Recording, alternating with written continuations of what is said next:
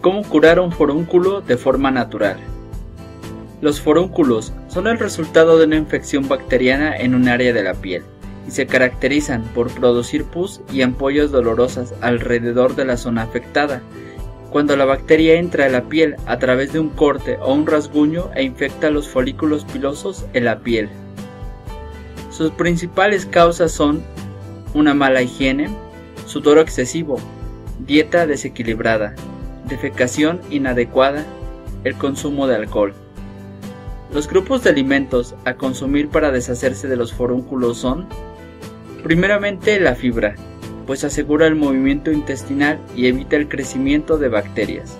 Algunos de los alimentos a consumir son los cereales integrales como la avena, arroz integral, trigo integral, mijo, vegetales crudos, frutas y frutos secos.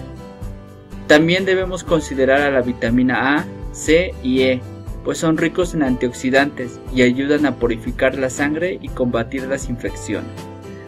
Los alimentos a consumir son las zanahorias, los melones, los mangos, las papayas, la calabaza y tomate.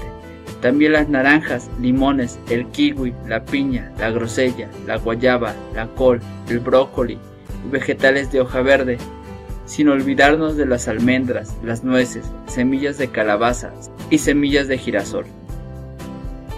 Y por último, los probióticos, pues ayudan a la producción de bacterias buenas en el intestino, que ayuda a aumentar el sistema inmunológico. Y estos se encuentran principalmente en el yogur. En nuestro canal nos dedicamos a ofrecerte remedios naturales y caseros para mejorar tanto tu salud como tu aspecto de forma práctica y económica. En el video de hoy te enseñaremos a preparar dos recetas utilizando estos grupos de alimentos para eliminar los forúnculos. ¿Cómo curar un forúnculo? Primera receta. Batido de frutas. Preparación. Añada una taza de yogur en una licuadora. Ahora añada un plátano picado a ella. También agregue de 3 a 4 fresas picadas. A continuación, añada 100 ml de jugo de naranja. Ahora se mezcla todo junto y ya está listo. Asegúrese de servirlo frío. ¿Cómo curar un forúnculo? Segunda receta. Risotto. Preparación. Caliente 3 cucharadas de aceite de oliva en un recipiente grande. Agregue 2 tazas de calabaza en dados en ella. Salte durante unos 5 minutos a fuego lento.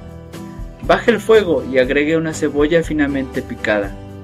Ahora agite durante 2 minutos y añada una cucharada de ajo finamente picado. Ahora agregue una taza de caldo de pollo. También agregue una cucharada de romero fresco picado finamente. Y cocine a fuego lento dejando que las calabazas y cebollas se cocinen por unos 5 minutos en el caldo. Una vez que las calabazas estén cocidas, agregue 3 cucharadas de queso parmesano. Ahora, agregue media taza de semillas de calabaza. También agregue sal y pimiento al gusto. Revuelva bien y sirva caliente.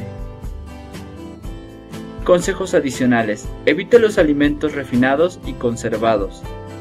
Evite las carnes rojas y los alimentos fritos o picantes. Aviso importante. La información que contiene este video es de carácter informativo y en ningún caso puede sustituir el consejo, diagnóstico o tratamiento médico. Espero que esta información te haya sido de gran ayuda. Si es así, te invito a que le des un me gusta y te suscribas a nuestro canal para recibir más novedades sobre remedios caseros y tratamientos naturales.